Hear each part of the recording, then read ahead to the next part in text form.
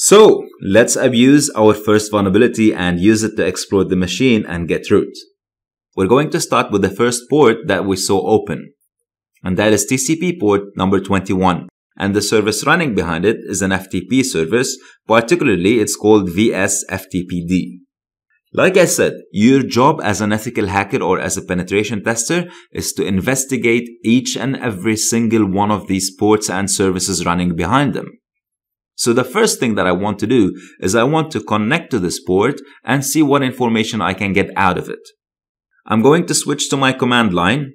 And as you can see here, I have Metasploit running in the background and ready already. Let me go to another one.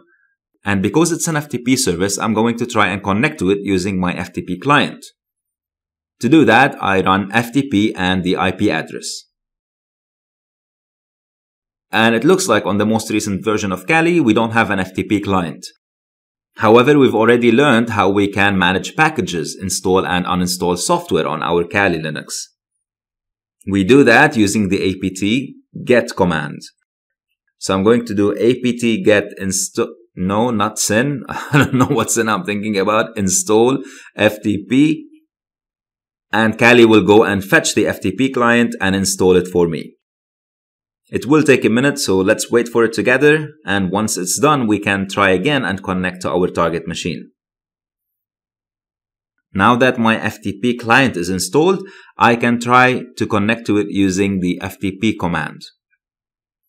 And I do FTP the IP address.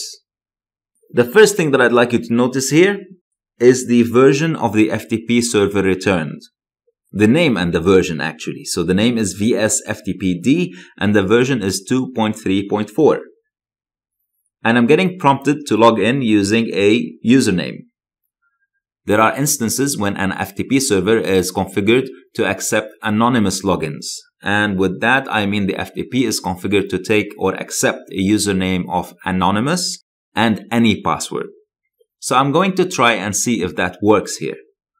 I'm going to type the username anonymous and any password. And yeah, it worked. I am logged in now.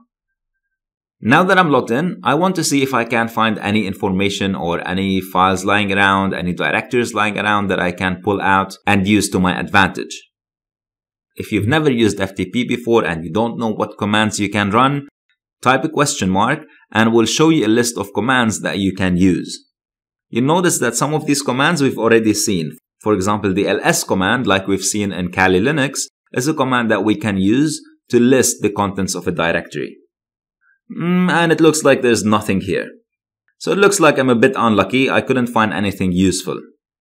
To terminate the connection with the FTP server, I'm going to type bye. Let me go back to the ZenMap scan. Now that I've investigated the service from a higher level, I'm going to dig a little bit deeper into that particular FTP service and the particular version of that FTP service. So I'm going to copy that and go and try to research it a little bit and see if there are any vulnerabilities affecting it. And the second I type that into Google, you'll see that multiple suggestions pop up on how to exploit this service. So it looks like we're in luck and there might actually be an exploit that we can use to break into our target system. I'm going to look at the first result here, which is an entry by Rapid7. This is the company behind Metasploit, the company that created Metasploit. And it looks like we're actually very lucky. From the first service that we're investigating, there exists a vulnerability that we can use to break into our target system. And this is the name of the module in Metasploit that we can use.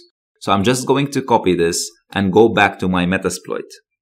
We've seen how to use Metasploit before, so I'm not going to go through the details of it. I'm just going to go ahead and use the module. The info, if you remember, shows me a little bit more information. I'm just going to type this to verify that this is actually the module that I want to use. And as you can see here, this targets exactly the version that I have. So all that is left now is to configure my exploit and run it. To do that, let me have a look at the options by typing show options. All I need to do here is to just configure the remote host. Remote host, as we've seen in the beginner's video, is my target IP address. So I'll do set rhost to the IP address And in Metasploit, there are certain exploits that we can check whether they're going to be successful or not before we actually run them. So before we execute and run the exploit and risk breaking a service or risk the exploit not succeeding, we can try to check to see what the probability of our exploit succeeding is. Now this option exists, but not in every exploit. So let me see if this exists here. I'm going to run the check command. And unfortunately, it says that for this particular module, check is not supported. So all I'm left with is to run the exploit. And I can do that in one of two ways. Either I type run or I type exploit. So I'll type exploit and hit enter and let Metasploit do its magic. Once you start seeing these plus signs in green, this is when you start getting excited because that means the exploit is actually working. And here we go. We have a command shell session one open, which means we now have a command shell open. I'm going to type ID and look at that. We actually got in as root, which is fantastic. And again, I'm going to double check that and type who am I, which is another command that we've seen. And it tells me that we're root. And we ended up landing in the root directory.